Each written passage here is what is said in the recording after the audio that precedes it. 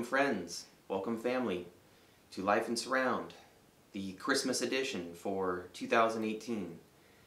And with any luck, if this channel is still thriving, which means if I'm still interested in doing videos for the heck of it, we'll have a Christmas edition 2019 and so forth. But we're here this year, and it's time to get on with it. I don't own a Santa Claus hat, so sorry about that, but I did put on a green shirt, and I did uh, scrounge up a few props for your amusement. I do want to preface this video by letting you know that I have a rather eclectic assortment of discs and even a download to discuss today. So, would you expect anything else? We're going to discuss a variety of formats, we're going to discuss a variety of mixes all the way from 4.1 to Atmos and Auro-3D, which are essentially 7.1.4 or 5.1.4. And with that, let's begin.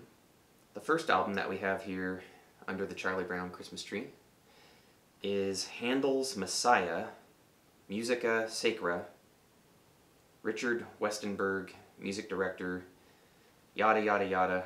They list everyone involved. This is a high performance CD.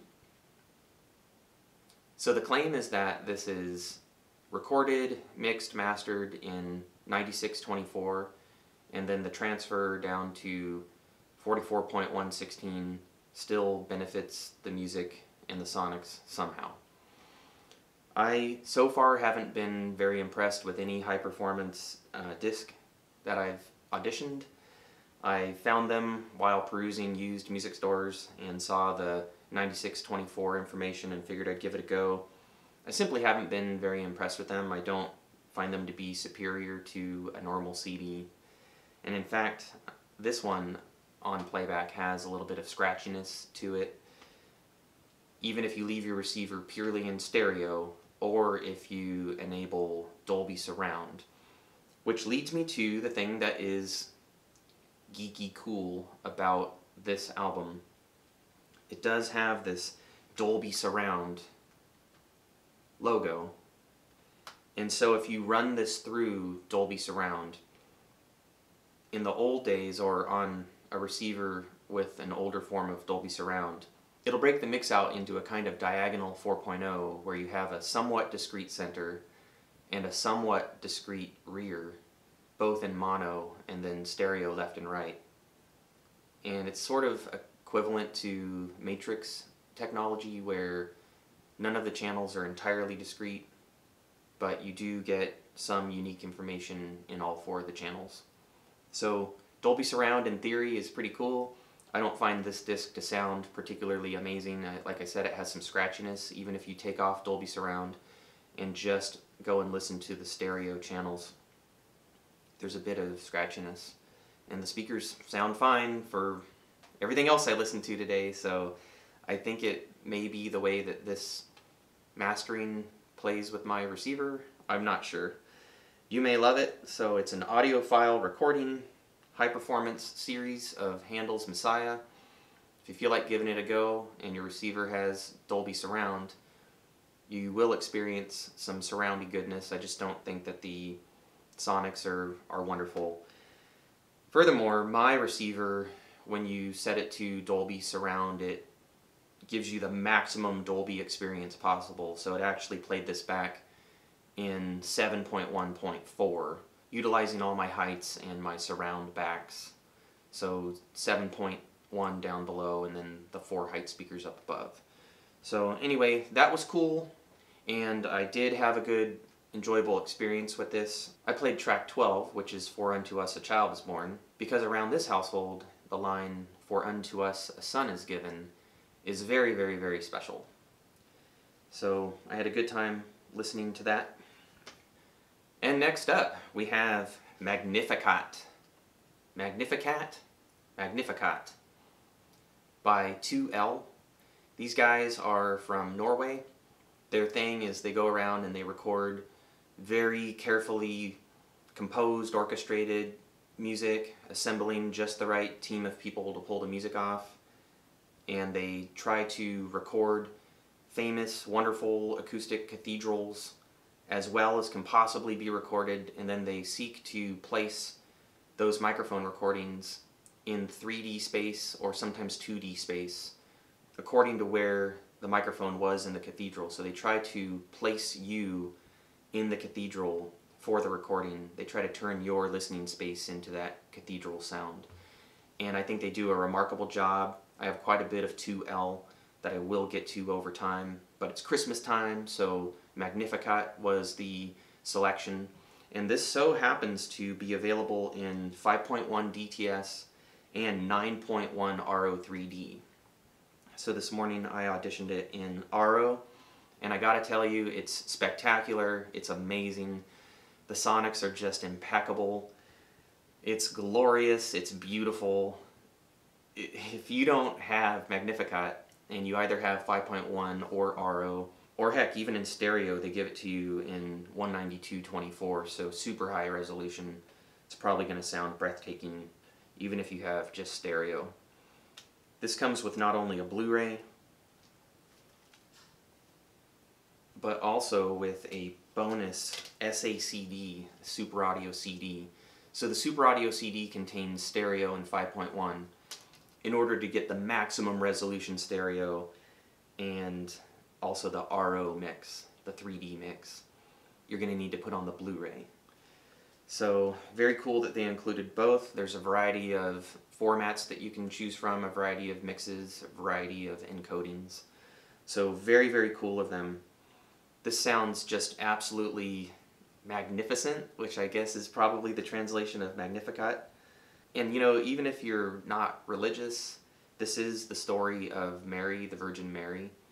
But virgin birth stories go back thousands of years, all the way to 1200 BC, as far as we can tell. Zoroaster was born to a virgin, Horus was born to a virgin, and um, Jesus, obviously, his Christmas story involves virgin birth. So, whether you are devout or whether you're not, the virgin birth story is a ancient part of human wonder and mystery. So I recommend giving this a spin at Christmas time or just any old time. It's absolutely gorgeous. Good job, 2L. And I look forward to reviewing more of your stuff in the near future. Next up, we have a super weird and random selection. This is The Flaming Lips, Christmas on Mars. This is a movie that they produced more or less by themselves at construction sites around Oklahoma at night when the workers weren't there and at Wayne Coyne's house. It's very low budget. It has a lot in common with Eraserhead. The music is not like the catchy poppy stuff that you're going to get on Yoshimi or at War with the Mystics. It's very creepy and ethereal. It's very overbaked. they call it mega supersonic super sound surround. The movie begins where the silhouette girl shoots rainbow beams into each of your speakers so you can tell if the rainbow beam hits the surrounds at the right angle and everything. So I love discs that include sound checks and this one definitely has one.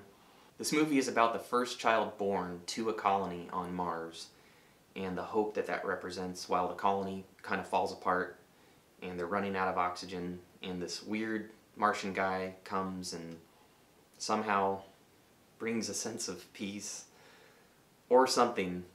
It's super weird.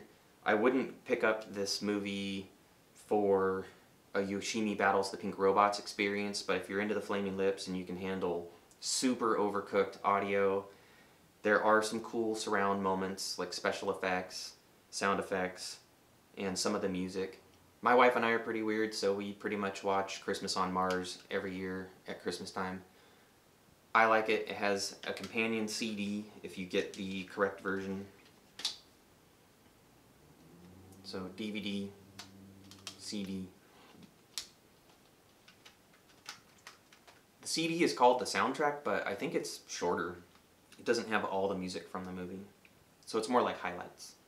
The best mix available on this one is Core DTS 5.1, so not extended DTS 9624, but plain old ordinary DTS.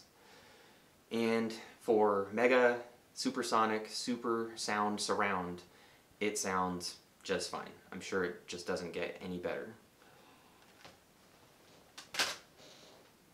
Next under the Charlie Brown Christmas tree, appropriately enough, is a Charlie Brown Christmas. The Vince Guaraldi Trio. This was put out by Monster Music back in their Super Disc DVD phase.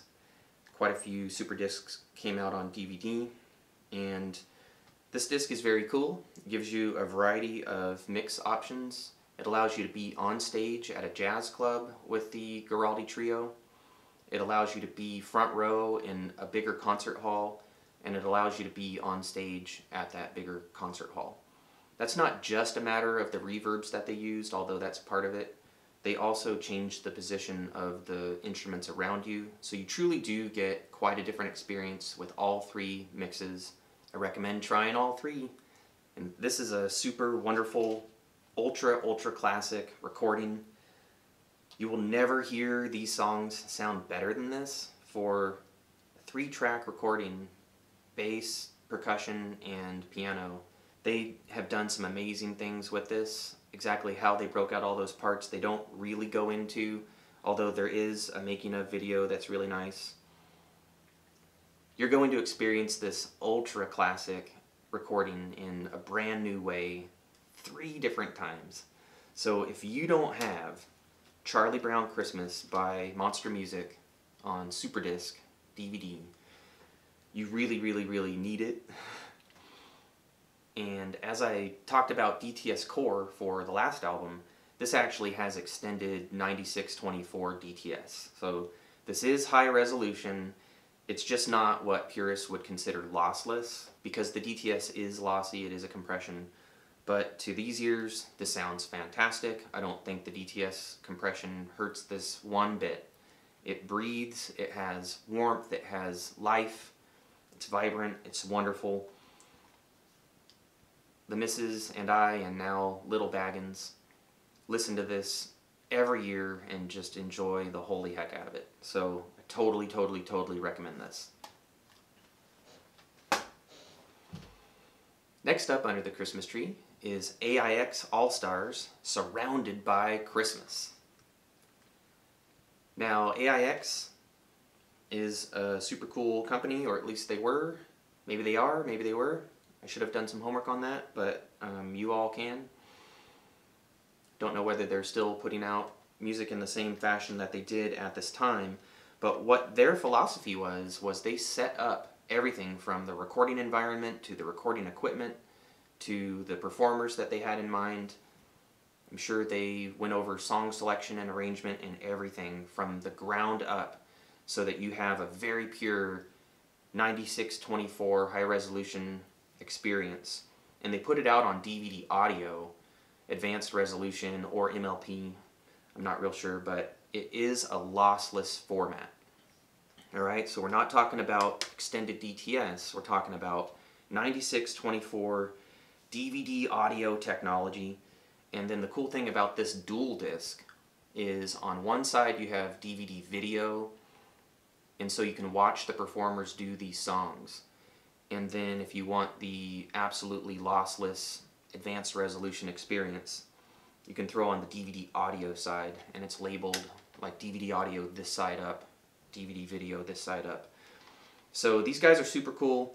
I don't love all AIX releases because I think they focused so much on sound that sometimes the performance is a bit lacking and I may review some of those videos later on. But in theory, what AIX was trying to do, keep that signal chain pure, is a very cool concept and when the performance really merits the care that they put into their sonics, they're just a knockout. So, ultra, ultra, ultra highly recommended AIX All Stars, surrounded by Christmas. This is a fantastic experience, fantastic sonics. Uh, can't recommend it highly enough. If you are into jazzy arrangements of Christmas music, go for it. And next up, we have just a single song selection from Jethro Tull's This Was. This is their original debut album, remixed into 4.1 by Steven Wilson, amazingly from, I think, a four track recording. He took a single track, and if it had guitar and a vocal and some percussion or whatever, he divided it all up. So instead of just four different tracks to play with, he carved them all out into eight or 12 or how many ever tracks, spread them all around. This sounds amazingly close to a modern 5.1 mix. It's very full. It obviously doesn't sound quite as good as Aqualung or Minstrel in the Gallery or an album that he had more tracks to work with in the first place, but it is absolutely amazing how good he made this was sound. Because with these Jethro Tull packages, you often get extra songs. One of the songs is A Christmas Song by Jethro Tull, and it's cool. I like it. It seems to be just trying to remind people uh, about what's really important around this time of year, and so I'm glad that it got included in this set. It was a worthy few minutes of entertainment and reflection, and Steven Wilson did absolutely astounding things with the 4.1 of this mix. So I recommend This Was, and it's got nice Christmassy colors, by the way. Not only for the album, so you can hear the history of Jethro Tull, it's their debut. You can hear where they started and then be astounded by the amazing progress that they made but then you get a Christmas song as one of the bonus songs. And next up, we have John Lennon's Legend video collection. And among the included songs is Happy Christmas, War is Over, or Happy Xmas as it's written, but that's a cross, so I think it's meant to be said as Christmas. Anyway, you get DTS 5.1 of Happy Christmas, War is Over. This is probably the most disturbing thing that I have partaken of this Christmas season as I've tried to get into the holiday spirit. The video contains nothing but violence, death, abject misery, poverty. If the lyric is somewhat ambiguous, but um, definitely hinting at the world not being a perfect place and to challenge us to reflect on that at Christmas time, the video is completely unambiguous. It is absolutely beating you in the face with the message that our world sucks due to power, greed, and I think that is a cool message to contemplate. It's a very challenging message though, and if you're looking to get into the holiday spirit, avoid Happy Christmas, War is Over from the John Lennon Legend set. It will do quite the opposite, most likely. But on a happier note, I also happen to have the Imagine box set by John Lennon, which just came out this year, and I'm super thrilled about it. It's a wonderful set. It has more information contained in an awesome book than a scholar could get through in a week, I'm sure. It has umpteen CDs full of demos and session takes, the original album, but it has not one but two Blu-rays.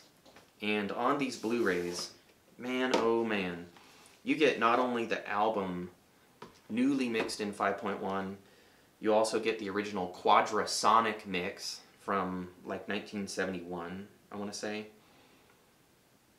And then on Blu-ray 2, you get session takes and outtakes mixed in RAW format. So instead of going for a modern 5.1 presentation with the main band up front and peripherals in your surrounds. You have stuff like the drums pinned back in the surround left and bass in the surround right and vocals up front and piano up front. So you get a very aggressive, discrete experience on the raw mixes. But why am I talking about this set in this video? On Blu-ray 1, you get two different versions of Happy Christmas, War is Over. You get the original mix and you get an alt mix. They're both very cool. you have mainly uh, John and his guitar up front, supported by some of the other band elements like drums, and then you have and then you have supportive parts in your surrounds like I think it's Yoko Ono singing the female part. I couldn't find any information about that, so I have to assume it's her since she's a co-writer. And the kids choir and some hand claps and stuff like that in your surrounds. So very well done. And the lyric to Happy Christmas War is Over is a bit more ambiguous than the video, and this song has even become a popular inclusion on many Christmas song lists, so, you know, it's happy enough if you don't think about it too much. so this is definitely a cool experience at Christmas time, if you have this set, or if you plan to get it. I will go into more depth about Imagine and some of these other titles in their own videos. And that leads me to the last album that I want to talk about today. It's called Winter Solstice by Markus Reuter. I know of Markus Reuter from Stick Men Deep. Let's see if we can find it. I bet you already see it. It's right there. I know of Markus Reuter from this album, Stick Men Deep, which in surround is super cool if you're into more progressive instrumental type stuff. You can't go wrong with this. But for the holidays, and I think to help out a very, very, very good friend to the surround community, Jan Prince, and his website, surroundmusic.one, Markus Reuter volunteered his Winter Solstice EP to be downloaded for free in FLAC 5.1 which I did gladly. I have to say that for the United States, the download is a little bit unreliable and a little slow. So uh, be sure to use a browser that allows you to resume the download if you get a failed download error, like Chrome will allow you just to resume it. I had to do that like four or five times, but eventually the EP was downloaded, it's five tracks. I wasn't able to listen super closely,